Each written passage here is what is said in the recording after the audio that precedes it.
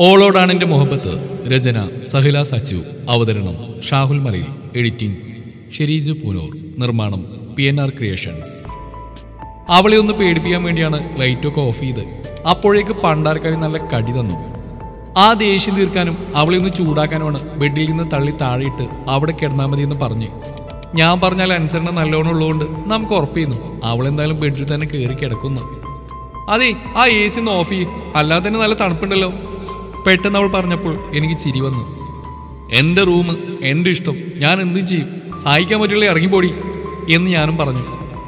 ഷായിക please. അതിന് സ്പീഡെങ്കിലും കുറക്ക്. എനിക്ക് തണുക്കുന്നു. No don't disturb me. എന്ന് ഞാൻ പറഞ്ഞതും പിന്നെ അവളുടെ ശബ്ദമൊന്നും കേൾക്കാനില്ല. വാഷിക്ക് ഇവിടെ കയറി കിടക്കേണ്ട ടൈം കഴിഞ്ഞല്ലോ. എന്തു പറ്റി? ഞാൻ സീറോ ബൾബ് ഓൺ ചെയ്ത് ബെഡിൽ നിന്ന് തലപൊക്കി അവൾ നോക്കിയതും ചങ്ക് പെടഞ്ഞുപോയി. തണുത്ത് വിറക്കുന്നുണ്ട്. പാവം. അതും കൂടാതെ ഇടയ്ക്കിടെ നടുവിനും പിടിക്കുന്നുണ്ട് അപ്പോഴാണ് എനിക്ക് അവൾക്ക് നടുവേദനയുള്ള കാര്യം ഓർമ്മ വന്നേ. എന്നിട്ടാണോ ഞാൻ അവളെ തള്ളിയിട്ടെ? പാവന്റെ പെണ്ണ്. ഞാൻ അപ്പം തന്നെ ലൈറ്റ് ഓൺ ചെയ്ത് എണീറ്റ് അവളുടെ അടുത്ത് പോയി. ഇഷു എന്ന് വിളിച്ച് ഞാൻ അവളെ നോക്കിയതും പെണ്ണ് കണ്ണു തുറന്ന് എന്നെ നോക്കി. കണ്ണൊക്കെ കലങ്ങിയിട്ടുണ്ട്. ഞാൻ അവളുടെ കയ്യിൽ പിടിച്ചപ്പോൾ നല്ല ഐസ് പോലെ ആയിട്ടുണ്ടാകെ. ഞാൻ അപ്പം തന്നെ അവളെടുത്ത് ബെഡിക്കെടുത്തി ഇഷു ഐ എം സോറി എന്ന് ഞാൻ പറഞ്ഞതും പെണ്ണ് കരഞ്ഞുകൊണ്ട് നമ്മളെ കെട്ടിപ്പിടിച്ചു. അയ്യേ എന്റെ കാന്താരിക്കുട്ടിക്ക് അറിയാ സോറിടി നിനക്ക് നടുവേദന ഉള്ളത് ഓർമ്മയില്ലായിരുന്നു. എന്നും പറഞ്ഞ് നമ്മൾ അവിടെ നെറ്റിലൊരു മുത്തം കൊടുത്തു. പോടെ തോരപ്പ എന്നും പറഞ്ഞ് നമ്മുടെ വയറ്റിനെ കുത്തു തന്നപ്പോൾ ഞാൻ ചിരിച്ചുകൊണ്ട് എ സി ഓഫ് ചെയ്ത് അവളെയും ചേർത്ത് പിടിച്ച് കിടന്നു. പിടിക്കടാവനെ എന്നും മലറിക്കൊണ്ട് ഷാദി കോളേജിലെ തെമ്മാടിച്ചെങ്ങനെ പിന്നാലെ ഓടാൻ തുടങ്ങി. ഷാദിക്ക് കൂട്ടായി അവന്റെ കൂട്ടുകാരും. ആ ചെക്കൻ കല്ല് തടഞ്ഞ് മൂക്കും കുത്തി വീണപ്പോൾ ഷാദി അവനെ പിടിച്ചെണീപ്പിച്ച് നിർത്തി. നീ പെൺകുട്ടികളെ വഴി നടക്കാൻ സമ്മതിക്കില്ല അല്ലേ? എന്നും പറഞ്ഞ് അവൻ മൂക്കി നോക്കി കുത്തു കൊടുത്തു. അപ്പോഴേക്കും അവിടെ സ്റ്റുഡൻസിനെ കൊണ്ട് നിറഞ്ഞിരുന്നു. പ്രിൻസിപ്പൾ അടക്കം ഷാദിയും ഫ്രണ്ട്സിനെയും നോക്കി നിൽക്കുന്നല്ലാതെ ഒന്ന് എതിർക്കാൻ കൂടി കൂട്ടാക്കിയില്ല. സർ നിങ്ങൾക്ക് എന്തെങ്കിലും നോക്കി നിൽക്കുന്നത് അവന്മാർ ചേർന്ന് ആ പയ്യനെ തള്ളി ചതക്കുമ്പോൾ കണ്ടു അവന്മാർക്കെതിരെ ആക്ഷൻ എടുക്കുക ഫാരിസ് രോഷത്തോട് പ്രിൻസിപ്പളിനോട് പറഞ്ഞപ്പോൾ അദ്ദേഹം ഒന്ന് പുഞ്ചിരിച്ചുകൊണ്ട് അവനെ നോക്കി. എടോ അവനാണ് കോളേജിലെ ആൺകുട്ടി. എന്റെ പ്രിയപ്പെട്ട സ്റ്റുഡന്റ് ആയിരുന്ന ഷാഹിലിന്റെ അനിയൻ.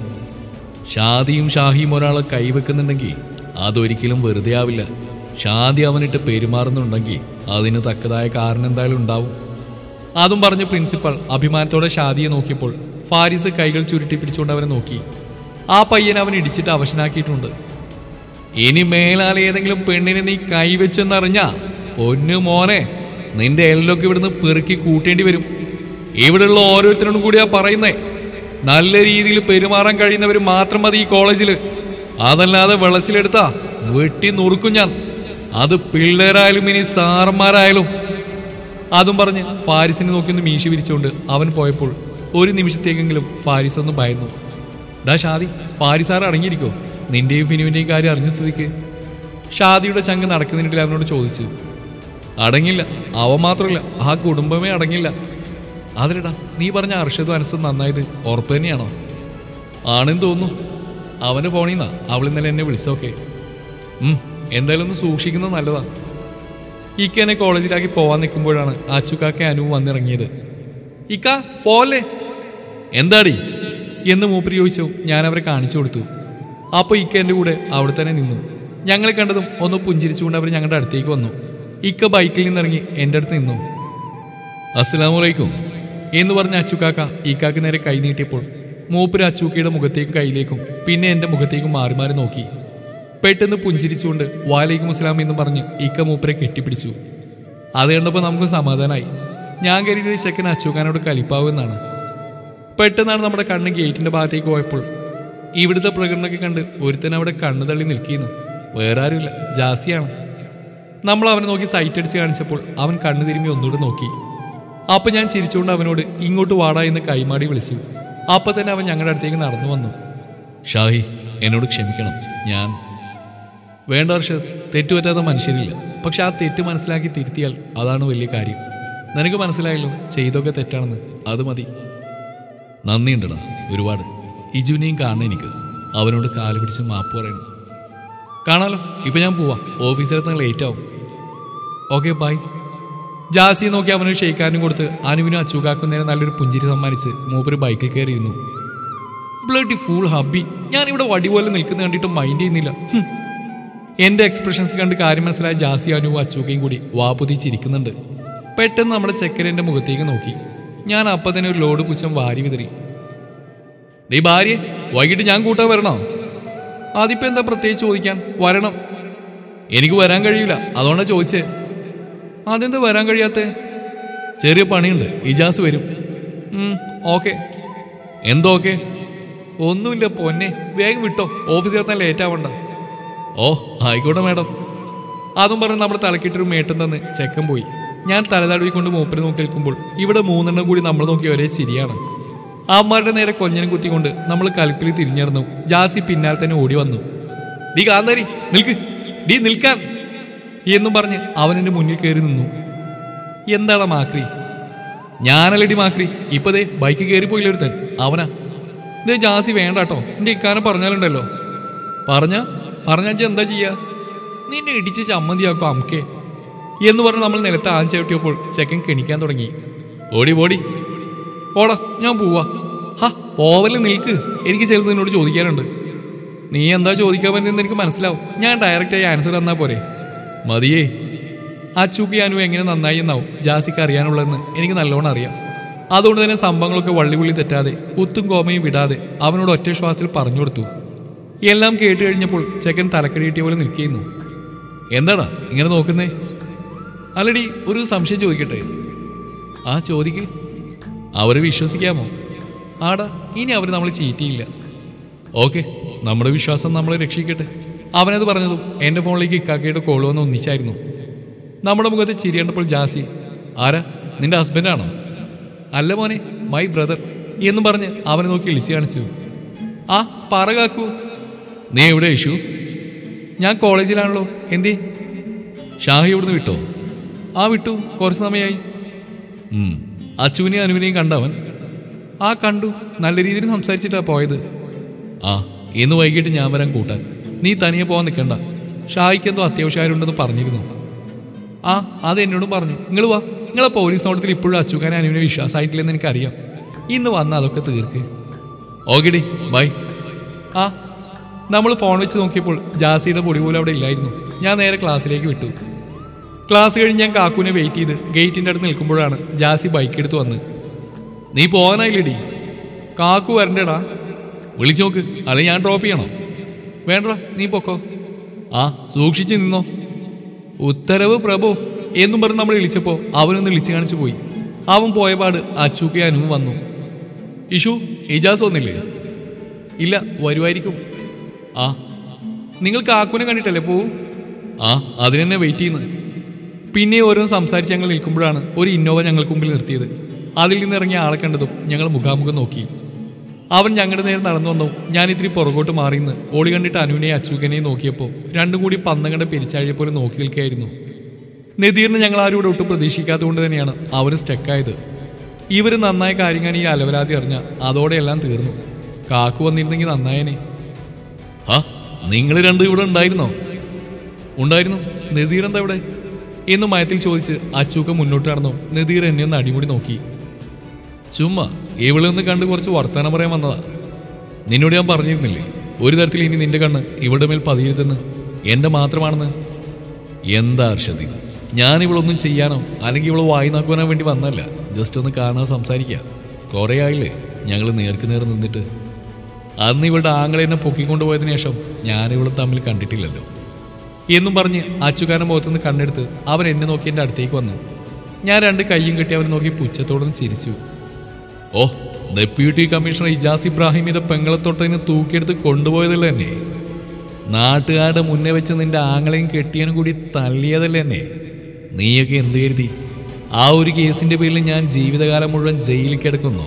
അതോ നിന്റെ കെട്ടിയോനെയും ആങ്ങളെയും പേടിച്ച് എവിടെയെങ്കിലും ഒളിച്ച് കഴിയുന്നോ? ചേച്ചേ അങ്ങനെ കരുതാൻ മാത്രം മണ്ടന്മാരല്ലടോ ഞങ്ങൾ? ഞങ്ങൾ അങ്ങനെ കരുതിയാൽ പിന്നെ നീയും ഞങ്ങൾ തമ്മിൽ എന്ത് വ്യത്യാസം? ഞങ്ങൾക്കറിയായിരുന്നു മിസ്റ്റർ നദീർ. നീ പുല്ലുപോലെ പുറത്തിറങ്ങുന്നു. എന്നിട്ട് ദേ ഈ നിൽക്കുന്ന തെമ്മാടികളെ കൂടെ കൂടി ഞങ്ങൾക്കെതിരെ കളിക്കുന്നു. അതും പറഞ്ഞ് നമ്മൾ അതിന് രണ്ടിനെ ഒന്ന് പാളി നോക്കിയപ്പോൾ രണ്ടും കൂടി എന്നെ നോക്കി പല്ല് കടിച്ച് പിടിച്ച് നിൽക്കുകയായിരുന്നു.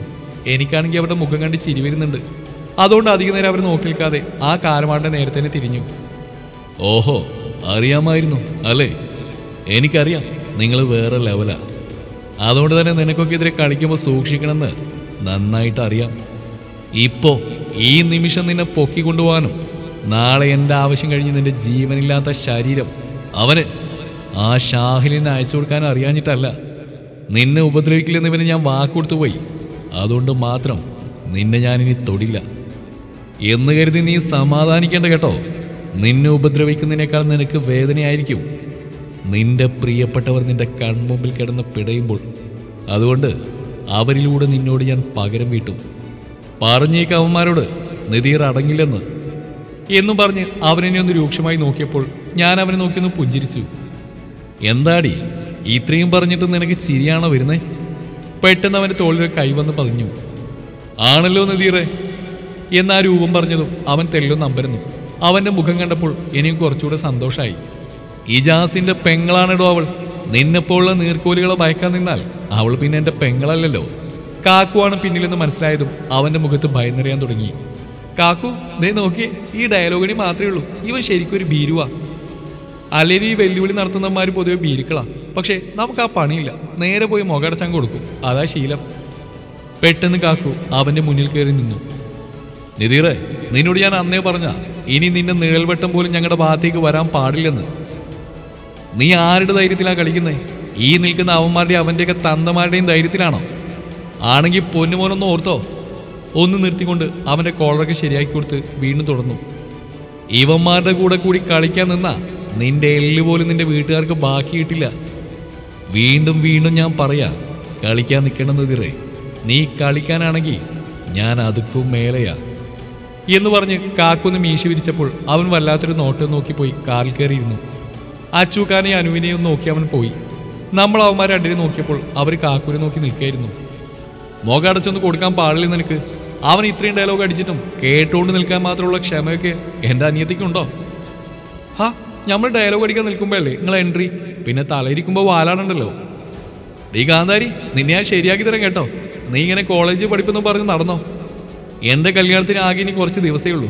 നീ വീട്ടിലോട്ടൊന്ന് പോയ ഷാഹി കൂട്ടി ഡയലോഗ് അടിക്ക് മാത്രം ഒരു കുറവില്ല. എന്റെ കാക്കുവിന്റെ കല്യാണം അതെനിക്ക് നല്ല ബോധമുണ്ട്. പിന്നെ നമ്മുടെ കെട്ടിയോ ബിസി ആകുമ്പോൾ നമ്മൾ എന്താ ചെയ്യുക അളിയനെ ഇതുവരെ ആളിയനെയും പെങ്ങളെയും അങ്ങോട്ട് വിളിച്ചില്ലല്ലോ.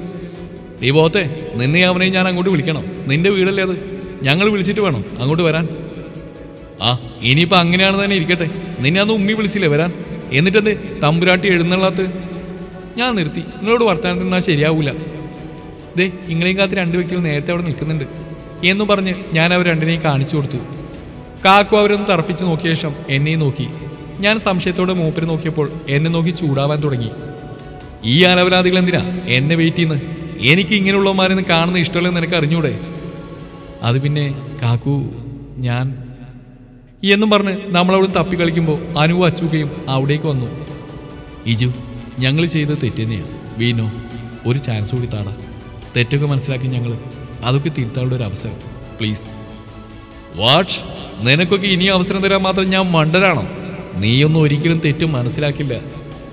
ഈ കക പ്ലീസ് ആച്ചു കാക്ക പറഞ്ഞ പോലെ ഞങ്ങൾ നിങ്ങളോട് ചെയ്തൊക്കെ വലിയ തെറ്റ് തന്നെയാണ് അതൊക്കെ അറിയാം. പ്ലീസ് ഞങ്ങൾ വിശ്വസിക്കുക ഇനി ഒരിക്കലും നിങ്ങൾക്കെതിരെ ഞങ്ങൾ നിൽക്കില്ല. നിങ്ങളുടെ കൂടെ തന്നെ ഞങ്ങൾ ഉണ്ടാവും. ഇനി നിങ്ങൾക്ക് വിശ്വാസമായില്ലേ? ചെയ്തു പോയ തെറ്റിനൊക്കെ കാലുപിടിച്ച് ഞാൻ മാപ്പ് പറയും. എന്നാലും കെഞ്ചി പറഞ്ഞു ഞാൻ ദയനീയമായി കാക്കൂരെ നോക്കി. അപ്പോൾ ചെക്കൻ വലിയ കരിപ്പിലാണ്. ഞാൻ അവന്മാർ രണ്ടിനെയും നോക്കിയപ്പോൾ രണ്ടും തലകുമ്പിട്ട് നിൽക്കുകയായിരുന്നു. നമ്മൾ പെട്ടെന്ന് കാക്കൂനെ നോക്കിയപ്പോൾ തുടരും. ഈ കഥയുടെ ബാക്കി ഭാഗം നാളെ ഇതേ സമയം.